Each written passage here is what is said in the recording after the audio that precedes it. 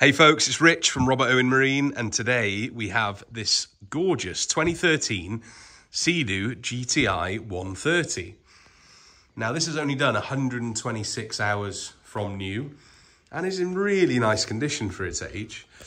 As you can see, we've got three seats on here, your front there and two on the back. So this is a full-sized three-seater machine. Nice and stable and perfect for that family entry-level ski towing out the back there, so nice and stable. Pull Ringos, pull skiers. It's had the added boarding ladder on the back, which is always a bit of a, a bonus. Um, but just overall, really lovely condition. 2013, as you can see there by the final two digits.